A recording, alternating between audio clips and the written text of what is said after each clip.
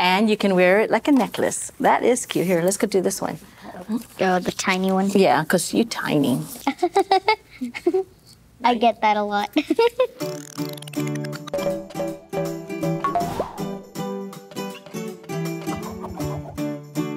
How's the day? My name is Martha Tenorio. Hi, Nina.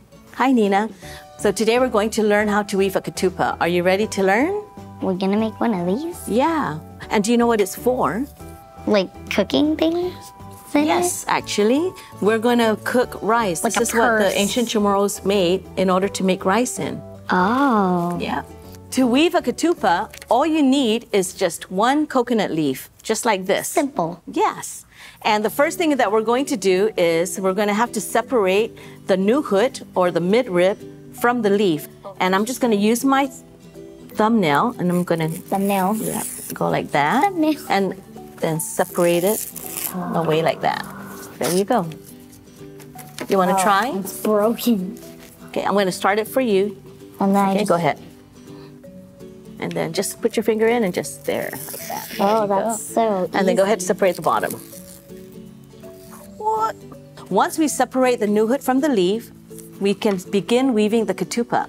The first thing I do is I put my hand between the two leaves. Then I take the leaf in the back and I go around the front leaf, around And the back, and then underneath my thumb. And then hold it down with your thumb. There you go. Just like that. Now I'm going to hold this leaf over here, that one. And I'm going to turn it just a little bit to the left. So just a little bit like that. You got it? It's gonna rip. Oh, it's not going to rip.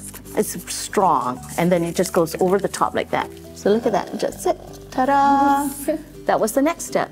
So this leaf here is going to go over this leaf and under this leaf. Come into my There, go ahead, pull it through. That's right. And then pull the pull the bottom out. Oh, wait, this one. Yeah, we just took that leaf and it went over the top and underneath the bottom leaf, just like that. Okay, now look at the back of your hand and we're going to use this leaf now. The same thing, it goes over the top and under this leaf. So coming from this direction. Oh. Yeah, there we go. Go ahead and pull that through. Pull it all the way out. There you go. So again, what did we do? I took the other leaf and I went over the top and underneath the bottom and I slipped it through. There we go. Oh, sorry. So go ahead I'm and take my hand out. very carefully take it out. Okay, there. Beautiful. That's like the base. Yep, that's the base, Mine's exactly. tiny because I have like a. Plus, I yeah, I gave you a thinner leaf to fit your hand. Okay, are we ready for the next step? Okay. You see this? Doesn't that look like a little house? Okay, so we're gonna take, yes, but from the back door out the front door. Oh. So go ahead. There you go. Hold it to the side. Now take the other leaf and put it from the front door out the back door of the house. Come here. There you go. All right, so for the next step, we're going to take this leaf on the left and we're going to follow the side of the, the house, So you put it under. So over this leaf, now under this leaf. Okay, I'm doing it like very focused. Oh, you're doing great. And then over that leaf and under this leaf. Oh no. Go ahead, pull it all Oh, the way no. through. Pull it all the way Oh wait, yes. Ta-da! Ta-da. Okay. We're going to do the same thing on the other leaf on this side. Go ahead. Do you remember which leaves to go under? Yep. So that one. Oh no, oh, no. And then which other? What other leaf? And then under this. This one right here. Yep. From the top down. Oh, from the top down. Hold on, hold on. There you go. Pull it all the way. Hold on. There you go. Turn it upside down this way now. And bring your two leaves together. Now, we're going to take the leaf on the back and move it to the right. So you're going to open it like this. That's right. And then taking this leaf here, so take that leaf and you go over and under. There it is. Good. Pull it Come here. Come here, George. all the way and then over and under. So it's going to go through this. Oh my gosh. You got it? There we There go. you go. Pull it all the way through.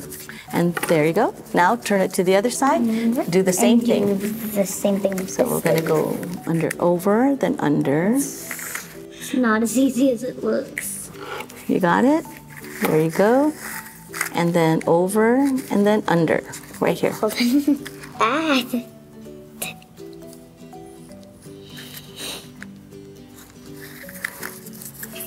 Pull it through. Good. Pull it through. Oh no. Look what you just made, Hey. right? So I'm going to finish this one just to repeat the instruction.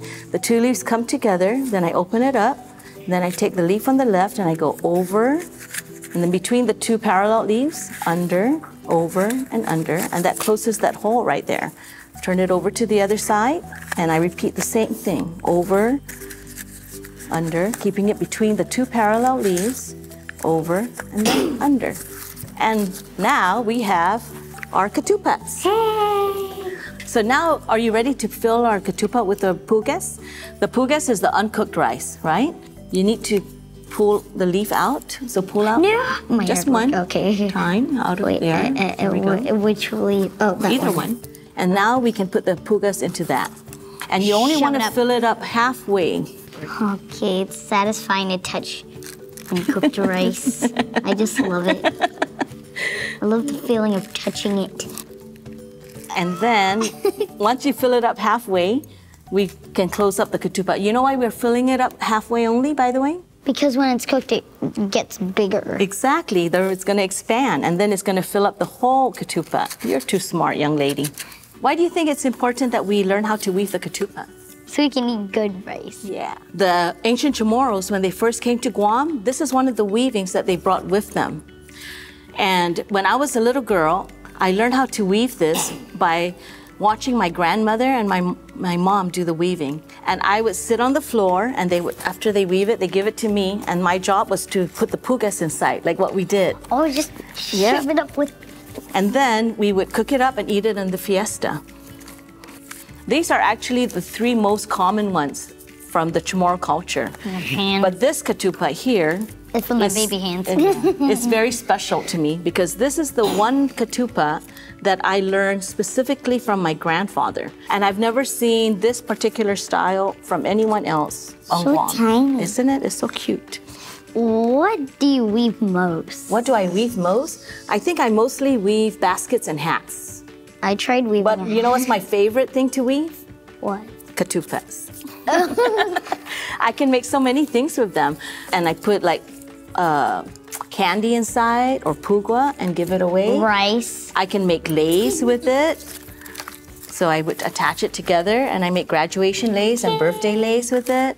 And I can also use it- My one year in uh, college, I made them out of ribbon and I used this to decorate my Christmas tree. So today, I actually brought some rice that I cooked in the katupat. Would you like to try some? Yes. Okay. And you can use scissors to open it up or you can just undo the weaving. Yeah. Juicy. Okay, go ahead. Give it a try. Come here, George.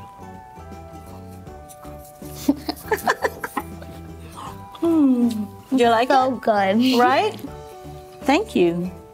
Did you enjoy today's lesson? Mm-hmm. Me too. Don't forget to subscribe and hit the bell for more videos like this.